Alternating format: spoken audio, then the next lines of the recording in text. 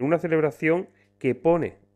a, a Fuenterido en el epicentro de toda la provincia y que sin duda va a ser un fin de semana donde la sierra está copada y uno de los grandes eventos pues será esta feria de la, castaña. Feria que no solo va a poner en valor este fruto como parte esencial de la cocina, sino que además dinamiza la economía local. Sino también para recordar a todo el mundo que el castañar del Parque Natural Sierra de Aracena y Pico Zaroche necesita atención en las administraciones, de las cuales estamos recibiendo sus ayudas.